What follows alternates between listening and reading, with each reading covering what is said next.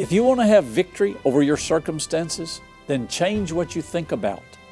Believe the report of the Lord, not the world system. Victory to overcome every circumstance is coming up next on Arkansas Alive. Thanks for joining us every day this week. This edition is going to complete our little mini series on victory to overcome every circumstance.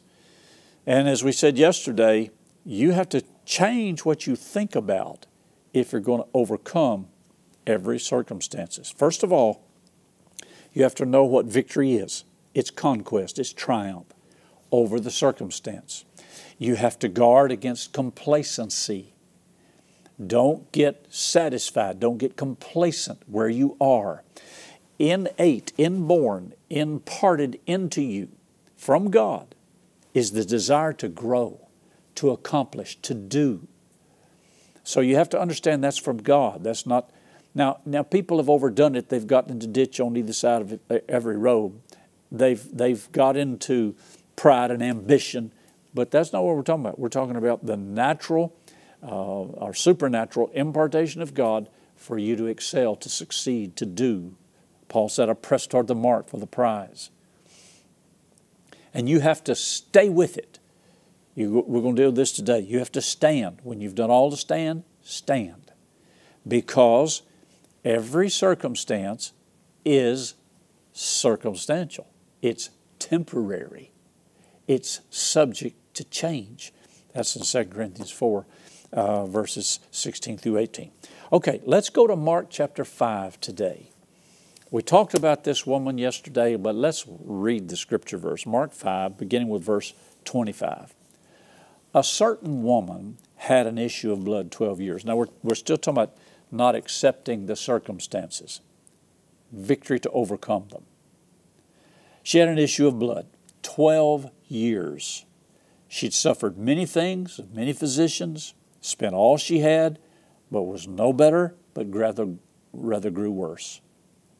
When she heard of Jesus, she came in the press behind him and touched his garment. Now, as I said yesterday, there was a press, a crowd. She pushed her way through the crowd to come to Jesus, for she said, so important, listen to this. For she said, and, and the Amplified Version says that she continually said, she continually said, If I may touch but his clothes, I shall be made whole. If I touch his clothes, I will be made whole. Now, she had a choice. She had suffered many things and it said she grew worse. She could either have a grow worse image or she could have an image of if I touch his clothes, I'll be well. Now this is this is not mind over matter. This is not mental gymnastics. This is not metaphysical. This is this is faith. This is the word of God over the circumstance. And what I'm trying to get across to us this week is you can have victory over your circumstances, but you're going to have to have it do it God's way. You can conquer, conquest, triumph over every circumstance you're facing. And this is a good time to start at the beginning. So let's start today. So this woman said, I want to press through the crowd because I have been saying, if I just touch the hem of his garment, I will be whole. Now, I don't mean to I don't, I don't mean to contradict or to contend I'm not trying to be contentious, but I want to make something very clear.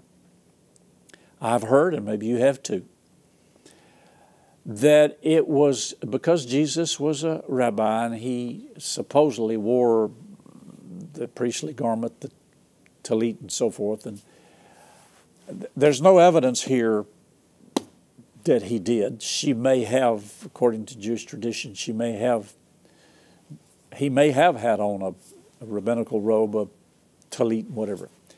And there is, I've, I've heard it said that, the, that this talit, it, when she touched it, it, that's what healed her. There is no healing in a robe of any kind. It wasn't the robe that healed her. I've also heard it taught that when uh, Jesus went in to raise the little girl from the dead, that he took the tallit and laid it across her and it raised her from the dead. There's no evidence of that either, not in the scriptures. There, there, there is no priestly garment, there is no um, anointing oil, there's no uh, anything that heals. It's Jesus that heals. Now, he may use and his anointing may flow through, but everywhere in the Bible where it talks about uh, healing or deliverance or whatever, it, it usually refers to the touch. And if you talk about oil, the, the word anoint means to rub on. So there's something about that touch. I'm, st- I'm still meditating, doing a teaching on that. The touch, the hand. I was in a meeting with uh, a minister in Dallas, Texas, uh, by the name of Everett Feuerbach. What a powerful man of God. I'm sure he's in heaven today because this was 40 years ago. And um, I've never seen quite the anointing on a man of God like it was on him. I, I had been in this conference. He had spoken at a minister's conference, and and we were in Tyler, Texas, I think, in a church, and he he began to lay hands on people. I never seen anything like it. In fact, there was such an anointing that he had to literally grab his coat and run out the side door to escape the, the crowd from wanting to touch him. Now that's profound. I haven't seen anything like it since. this was in the beginning of the, uh, the charismatic renewal, the early 70s and mid 70s. And, and he had, and I said all that to say this, he, he asked me to come up and go along with him to pray with him for with the crowd. And I I mean he would take my hand, he would place his hand on my hand and pray for people and boom, the power of God would knock them over. And there was just a pile of bodies laid up there. They fell on top of one another. I mean, this was faster than any catchers. There weren't any catchers. And uh, he told me, he looked at me and he told me, he said, You have not been using your hands. Oh, he was so right, and I was so repentant to God. And I failed in many times to use my hands to pray for people. But notice what he said You've not used your hands. He didn't say, You haven't prayed for people. He said, You haven't used your hands. And I realized there is something about the hand. It substantiates that in the Bible. And, and Jesus was moved with compassion toward the leper and touched him. This woman said, If I can but touch, touching goes both ways. People want to touch Jesus, and Jesus was touching people. There's something about the touch. It wasn't the tallit, it wasn't the robe, it, it, it, it's not the bar soap, it's not the oil, it's not, it's the Holy Spirit. It's the anointing. And this woman, because when, when Jesus turned to her and he said, Who touched me? Who touched my clothes? She was embarrassed, afraid, and the woman, fearing, trembled, knowing what was done in her, came and fell down at his feet and told him all the truth. And he said, Daughter, your faith made you whole. Not the robe. I mean, I mean, you know, if it was the robe, the garment, whatever, we could preserve it and, you know, hang it on a hanger and let everybody come by and touch it. It wasn't. It wasn't that. It was the anointing. It says virtue went out of him in um, verse 30. It said, immediately anointing himself that virtue had gone out of him, turned about in the press and said, Everybody was touching him. That's what the disciples couldn't, couldn't get across. They, what, what does it mean? Who touched me? Everybody's touching you, Master. Yeah, but somebody touched me, and virtue, power went out of me. Hmm. You remember in Philippians 2, we read yesterday where it said, Think on these things.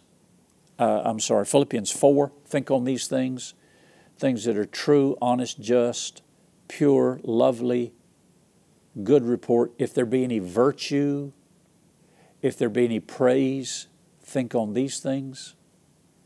This woman touched Jesus with her faith. And he said, Your faith is what made you whole. What you said, what you believed. Victory, victory over the circumstances means to not accept the undesirable circumstances. She could have accepted that and says, Well, this is my lot in life. I'm one of these unlucky ones. Maybe this is God's will. And she would have had that issue of blood for the rest of her life till she died. It's important that you not accept undesirable circumstances. And again, I say, for clarity, it's, it's, it's not denial. Faith does not deny what exists. There is no power in denying what exists. That's not what the Bible teaches. The Bible says to call for what is not yet seen as though it were. What is not seen? Your healing, your health, your finances, your prosperity, your deliverance. So you call for what you don't have yet. That circumstance, that circumstance is temporary. It's subject to change. Financial lack is reversible. It is subject to change. You can change it. Your victory, your faith can change what is temporary, what is circumstantial. You know what circumstantial evidence is? it's circumstantial, it fits the circumstance. Usually you hear that in murder investigations or uh, whatever trial is going on. It's circumstan- circumstantial evidence. And a lot of times in court they throw that out. It's circumstantial, which means it's subject to change or incorrect. Hey, there are, I don't know, probably hundreds, maybe thousands of inmates in prisons across this country and er, from the time they came up with DNA that have been released, found innocent. They were found guilty on circumstantial evidence. Fits, fits the circumstances. They had a record. They were in the right place. They had a motive. Circumstantial evidence. But then the DNA testing comes along and proves that it was not them that committed the crime, and they are released. Unfortunately, after serving 10, 20, 30 years, their lives have been wasted away for a crime they didn't commit. The evidence that put them there was circumstantial. Well, the evidence that, that Satan brings against you is circumstantial, it's subject to change. Here's your spiritual DNA. Here, here's, here's your inheritance. Are you with me? So, this woman she said, If I touch the hem of his garment, she continually said, Amplified Version says, and she touched his garment and she was made whole. And Jesus turned to her and said, Your faith has made you whole. Hallelujah. now let's close with Ephesians chapter 6. Let's go over to Ephesians 6 and let's read verse 10 through 17. Well, we won't close with this verse, we'll read you some more, but this is our closing point. Stand, when you've done all to stand, stand. What do I do, Pastor Caldwell? I stand. In Ephesians 6:10, finally, my brethren, the conclusion, be strong in the Lord and the power of his might. Put on the whole armor of God that you may be able to stand against the wiles of the devil. A while is a scheme, a plot, a plan. Satan endeavors to move you in a position where you look at the circumstantial evidence and you think, uh oh, I'm in trouble. But the victory that overcometh says, I can overcome this situation. I don't deny its reality, I don't deny it exists. You, you get into mind over matter and metaphysics, and you'll deny that the sickness even exists. It does exist. Faith doesn't deny what exists. Faith denies its right to exist. Faith overcomes it with the Word of God. So, he says what to do put on the whole armor of God that you may be able to stand against the wiles, the schemes, the plots, the plans of the devil.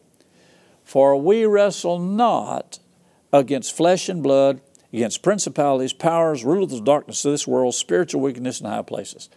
These are the four categories of Satan's kingdom um, powers, rulers of darkness, spiritual wickedness in high places, principalities. Wherefore, I mean, he doesn't leave you there. He, he tells you, Wherefore, when you come against these things or they come against you, here's what you do. Wherefore, take unto you the whole armor of God, that you may, able to, may be able to withstand in the evil day. Now, folks, we're in the evil day today, if you haven't noticed. That you can withstand in the evil day, and having done all to stand, stand. When you've done everything that you know to do, that you've been told to do by the Holy Spirit, what do you do? You stand. Is there anything else I need to do? Nope, just stand on what you got. Stand on it. You, you got to know when to hold them and when to fold them. Stand there. Stand there. Don't fold up. Don't give up. Don't quit. Just stand there. As John Osteen used to say, God don't settle up every Saturday night. Stand when you've done all to stand, what do I do? Stand. But I've been standing. What do I do? Stand. And you're going to see evidence. You're going to see results. You're going to see the tumor shrink. You're going to see the disease fade away. You're going to see the money come. You're going to see the lack disappear. You're going to see the oppression leave. When you've done all to stand, what do you do? You stand. When you've done all to stand, stand. And then it goes on and says, Stand.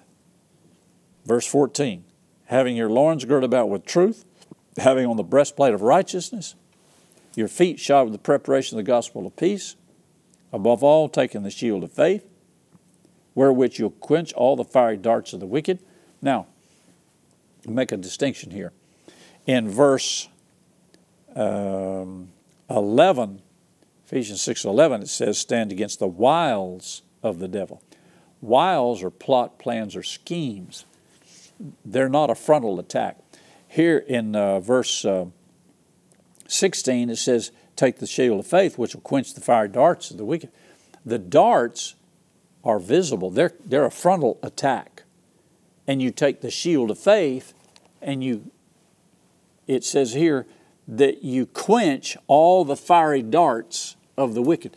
A dart is a frontal attack, it's something that Satan's throwing at you. But a scheme is not a frontal attack. Satan is a coward. He comes around behind. He comes around and he works wiles and schemes, plots and plans. If you know anything about politicians, politics, I wish they'd I wish they'd come up with another word because, just by definition, politician is not a good positive word. If I were a, a member of a body of politics or in the Senate in any of the governing offices, I w- I, wouldn't, I wouldn't like that word politician. A, politi- a politician, word politician, leaves you to believe that someone is um, studying or participating in a science of politicking, uh, which, and you've heard these terms, uh, you have to compromise, you give a little, take a little, you work. It's, it's, it is a, a profession of compromise. You have to learn to bend, you have to learn to put up with, you have to learn to compromise. It, it's hard for people of principle to compromise. But in the political world, if you don't compromise, you don't get anything done. If you, if you just, you know, hold your ground, so to speak, you become everybody's enemy. Nobody likes you. Everybody's, you know, again you. but a scheme is a plot or a plan. If you've ever studied politics or uh, watched it any length of time, I'm talking about years, and, and you understand and you keep a record or you remember historical things, you'll see that politics is full, contaminated with schemes, plots, plans. It's, it's always been that way and it's going to continue to go on. I don't believe that God ever intended for America to be a nation of politics and politicians. I believe that God intended for us to serve our country in any capacity that He was that we were called to, to serve as statesmen, senators, representatives, uh, governors, mayors, city officials, police officers, you name it. Any, but I don't I don't believe God called us to be politicians to work and connive with schemes and tactics and whatever. And if you've ever observed this, we see this today. I mean, this is going on. Political parties are scheming, conniving. Uh, they're leaking. They're they're lying. They're they're deceiving to accomplish a goal, an end result. And therefore, the American people have just been fed up with it. And because they, they're tired of all of this conniving and scheming and whatever, and they want, they want all the parties to work together for the good of America, for the good of the nation. And so they're looking for people that'll just flat tell the truth. But the politicians don't want that because they have bought into this body of politics where the scheming, the lying, the deceiving, the schemes, that's a way of life now. It's, it, they have become it. It has become them. And so when somebody comes in this just, you know, candid camera, what you see is what you get, and they're just totally honest. Eh, eh, I don't mean they're above reproach. I, I mean, they just tell it like it is. Oh, we got to put a stop to this, man. We can't have this. It'll show us all up to be liars and schemers. And, and that's why they set about to destroy that person or that body or that bunch or that party because they want to keep and maintain the, the schemes and the wiles. Well, that's the way the devil operates. And that's what the Bible says stand against the wiles of the devil. That's strong language, but that's what it is. And he said, The shield of faith will quench the fiery darts of the wicked. It's, it's no problem to move the shield of faith around to stop the darts, took, took, took, took, but a scheme and a wile comes around behind you. And it, in, in, the, in the church world the spiritual world, he does it with false doctrine. He does it with half truths. And he tells you, well, you know, God's trying to teach you something. That's why I gave you cancer. No, that's not right. That's a scheme. That's a wile. You can overcome that with the truth. The knowledge of the truth makes you free from the schemes and the wiles and the, and the untruth and the dishonesty. So when you've done all to stand, what do you do? You stand. What are you standing on? The Word. I'm standing on my faith. And he goes on to say, um, take the helmet of salvation, the sword of the Spirit, which is the Word of God, praying always with all prayer and supplication. In the Spirit, watching thereunto with all perseverance and application for the saints. And then, and then it, while you're standing, what are you supposed to be doing? You're supposed to be confessing the Word of God over the circumstances. Mark 11 23 of course, is the scripture that comes to mind because I heard Brother Hagin preach on it so many times. It says, Whosoever shall say to the mountain, to the circumstance, to the obstacle, to the problem, whosoever shall say, Be thou removed, be thou cast into the sea, and not doubt in his heart, but believe those things which he saith shall come to pass, he shall have whatsoever he saith. Now notice, believe is only in that scripture verse one time, say is in there three times. So saying it is really emphasized more than believing. You believe it once, but you say it three times. While you're standing, you're saying the word. Uh, in, in Revelation, it talks about overcoming by the blood of the Lamb and the word of your testimony. What is your testimony? My testimony is that I believe God. I believe the Word. And I am saying the end result. What you're saying may not fit the moment. The circumstances may be evidence of this is not the truth because we're broke, and you're saying we're prospering. We've given, and it's given unto us. So what you're saying doesn't match up with what we're seeing. But what I'm saying will change what I'm seeing. It gives God something to work on. Again, it's not mind over matter, it's not just saying something a bunch of times. Go over to Daniel chapter 10, listen to this. Your words from God, God's words, give something God to give something for God to work on. Look at Daniel chapter 10. You remember da- Daniel um, thrown in the lion's den, blah, blah, blah. Verse 12, Daniel 10 12. Then said he unto me, an angel, Fear not, Daniel, for from the first day, first day, that you did set your heart to understand, to chasten yourself before God, your words were heard, and I am come for your words.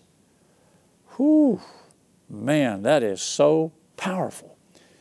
The angel said, I have been sent from God.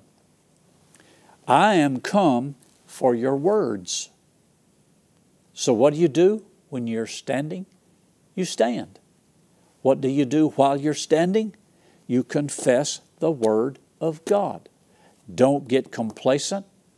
Remember, don't accept the undesirable circumstances. Watch what you're saying, watch what you're watching, watch what you're thinking, because it all has to do with what you're going to receive victory over the circumstances.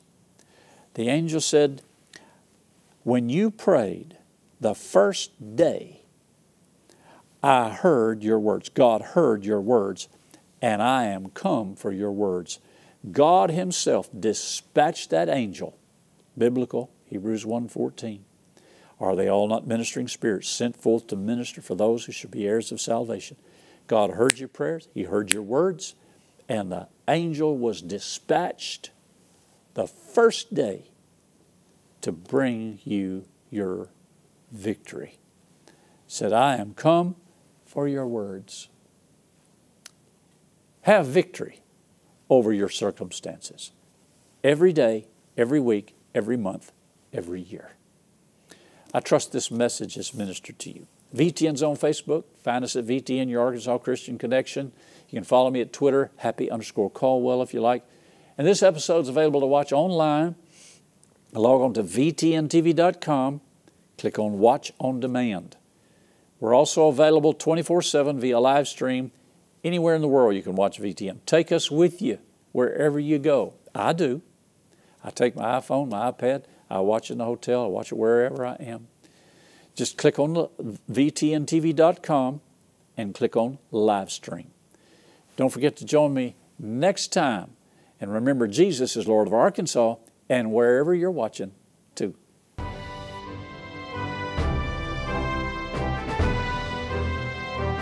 Send your questions, comments, and testimonies to Happy Caldwell at P.O. Box 26207, Little Rock, Arkansas 72221. Or email happycaldwell at vtntv.com.